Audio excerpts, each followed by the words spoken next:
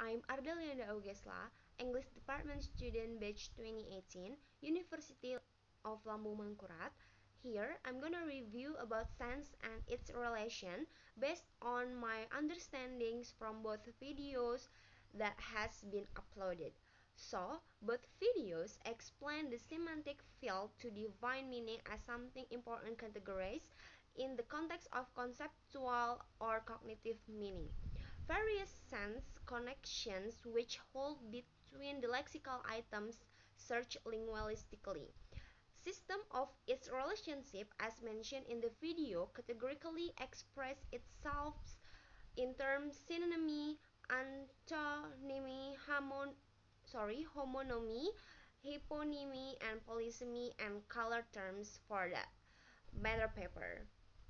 Although some statements are less significant, but each of these um, sorry, but each of these items announce distinctive features like uh, both videos and with a conclusion uh, that reveals the relationship between sense and sense relation in linguistic with this subtle semantic aspect. Uh, so again from the first video it can be concluded that sense is the meaning of each different expressions in the context of its use especially expression are related and what expression are contradict contradictory. Every word is meaningful because there is a relationship between each word. Then art of the relationship is seen when the word is used and it will be appeared when it has whether direct relationship or not. These relationships holding between vocabulary items like do not carry with them perceptions about the existence of objects and properties outside the vocabulary of the language in questions. Again, uh, next material from the video uh, that I took is synonymy Synonymy is a semantic relationship between two words which have the same or really the same meaning. Referring to its short definition, synonymy is another word which has the same meaning. Two expressions A and B in the same syntactic posi positions are synonymous if A implies B and B implies A. Thus, synonym per, sorry presuppose the substitutions of expressions given in all contexts. These expressions has the same denotational meaning and connotations and it called a complete synonym. However, most synonyms are partial synonyms and differ with respect to their connotations.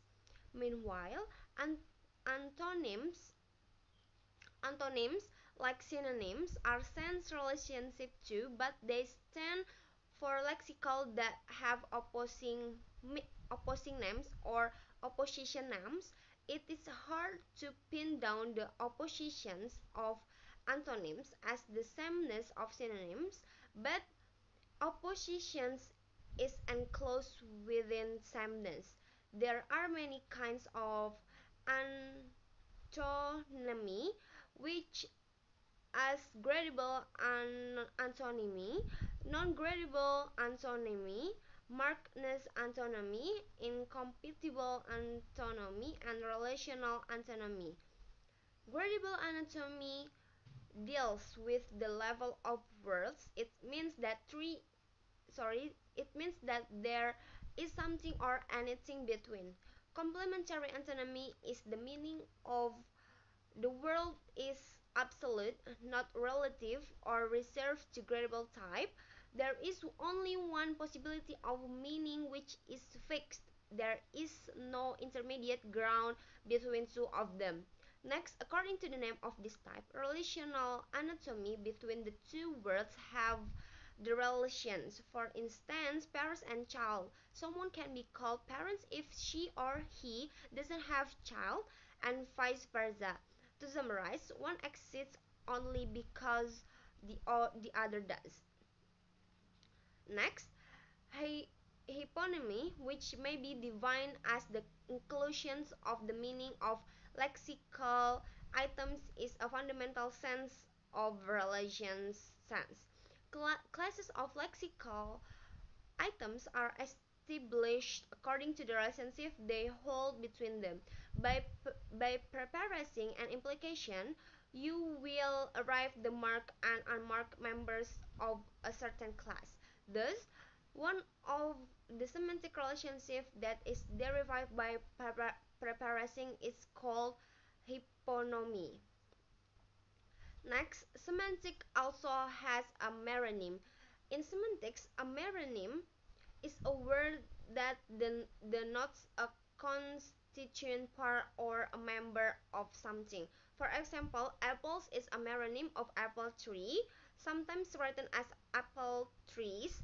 This part to whole relationship is called meronym, or in adjective called meronymous. Meronymy is not just a single relation but a bundle of different parts to whole relationships. Next, homonymy. Homonymy is the conditions where two words or lexemes have the same form but differ in meaning.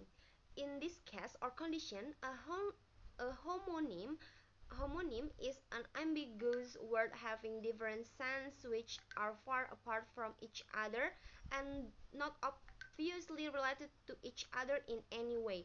Example, case means legal problem as a casus and a kind of bag like copper. The last is polysemy. Polysemy is a kind of sense relations where a lexeme has more than one meaning.